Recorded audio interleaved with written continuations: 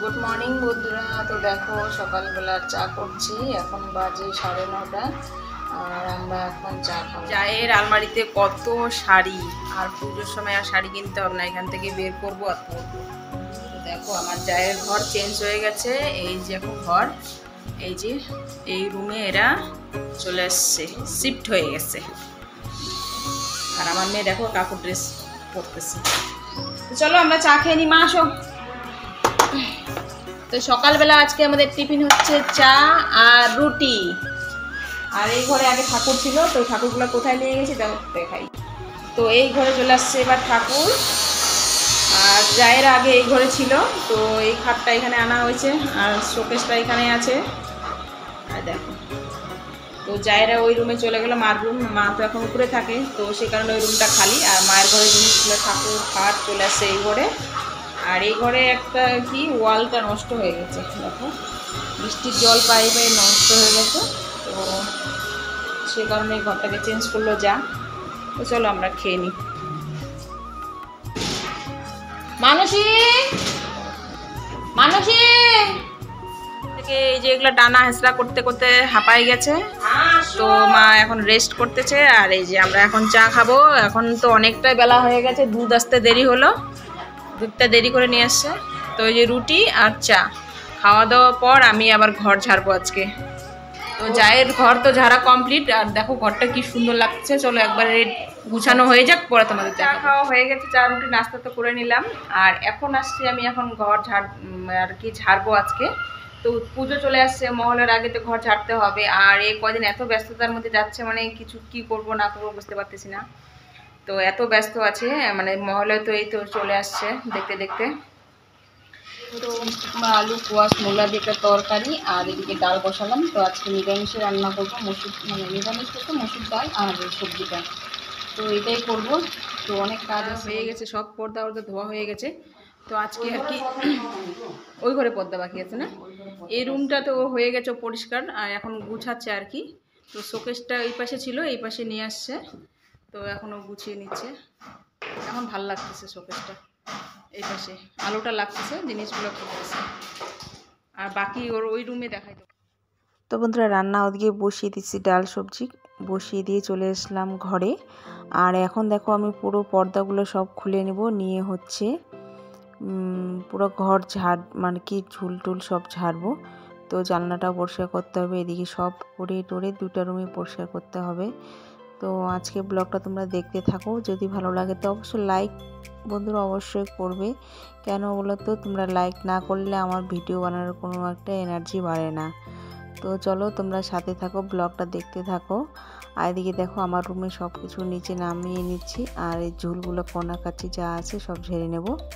আর আজকের পুজোটা দিয়ে দিচ্ছে আমার বড় মেয়ে। যেহেতু মেজো যা হচ্ছে, ঘর দু ঘর ওরও পরিষ্কার করতেছে ও। আর এদিকে আমি। করে নিচ্ছি।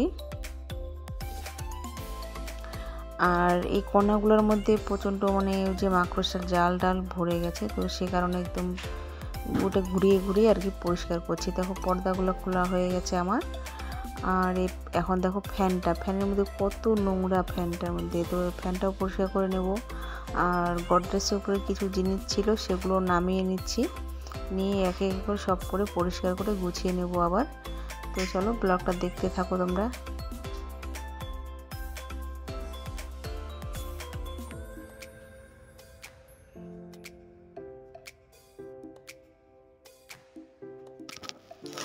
তো বন্ধুরা, এই রুমটা আমার পরিষ্কার হয়ে গেছে, তো ঝাড়ানো হয়ে গেছে, এখন ঝাড়ু দিয়ে নিচ্ছি।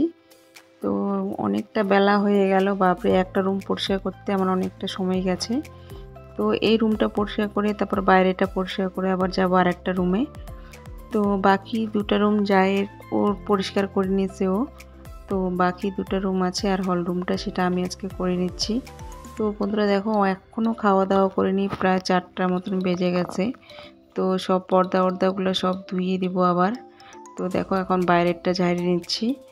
তো মনে কর ঝোঁকের মাথা না করলে পরে আজ করব, কাল করব, করতে করতে কিন্তু অনেকটা দিন পেরিয়ে যাচ্ছে। যেহেতু পুজো চলে আসছে, তো আমারও এখন কাজের টাইম এমন হয়ে গেছে যে, আমার মাল্টি লেভেলেরও আমার খুব এখন কাজের প্রেশার তো ওখানেও না করলেও হয় না। আর এদিকে দেখো, পুজোটাকে ঘরটা যদি ছাড়তে না পারি, তখন এটা কেমন জানি লাগবে।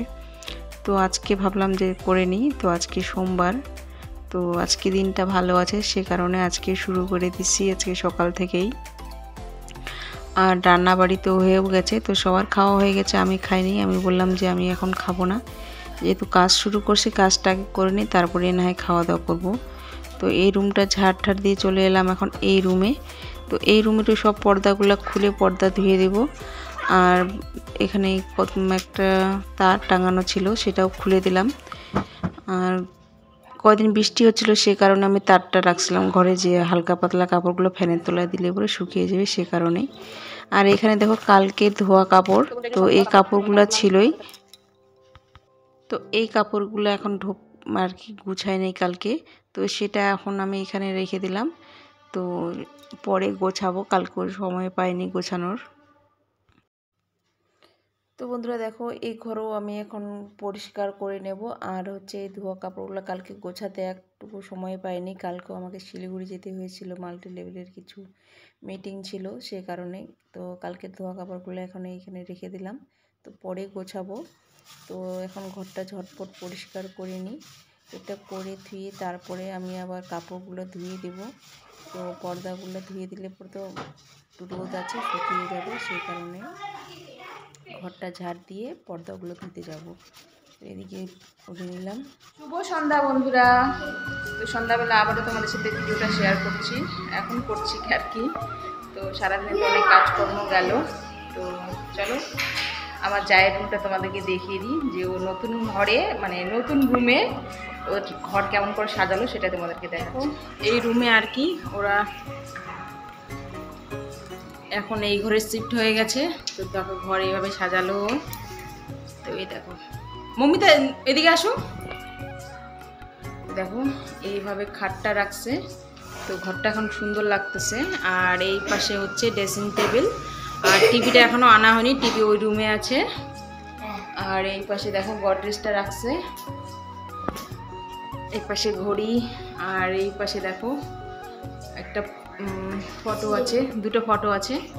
তো এই ফটোটার মধ্যে আমার শ্বশুর, শাশুড়ি আর আমার বড় মেয়ের যতগুলো ছোট ছোট ছবি, এগুলো সব আমার বড় মেয়ের। আর পাশে হচ্ছে সম্পার বিয়ের হ্যাঁ বিয়ের ফটো আর হচ্ছে আমার মাসি, শাশুড়ি আর মেয়ে মানে আমার বড় মেয়ে।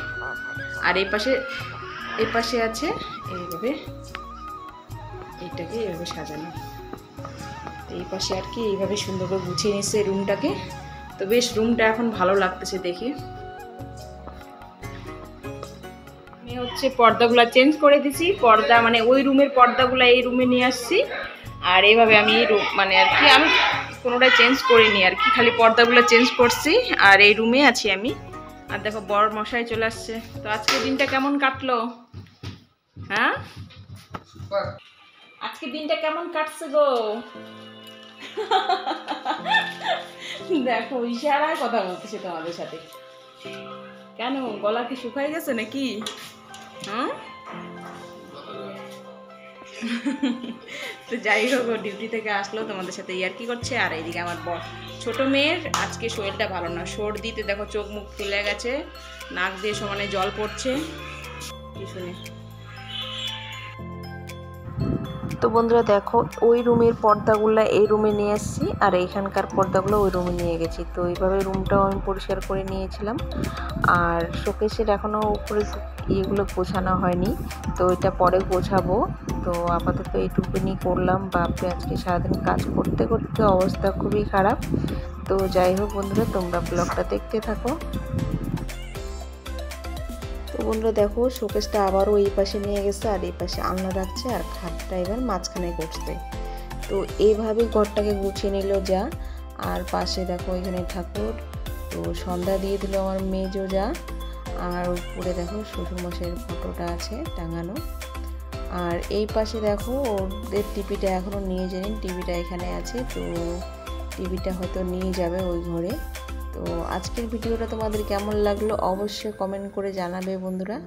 আর দেখো, মেজো জায়দিকে ওর ছোটো মেয়েকে খাওয়াচ্ছে, তো আমাকে ভয়েস রেকর্ড দিতে হচ্ছে, তো মোবাইল দেখছে এখানে, তো কপেটার আসবে বলে। তো আজকের ভিডিও তোমাদের যদি ভালো লেগে থাকে, তো অবশ্যই লাইক কমেন্ট আর চ্যানেলটা যারা নতুন দেখছে, তারা সাবস্ক্রাইব করে আমার পাশে থেকে। টাটা।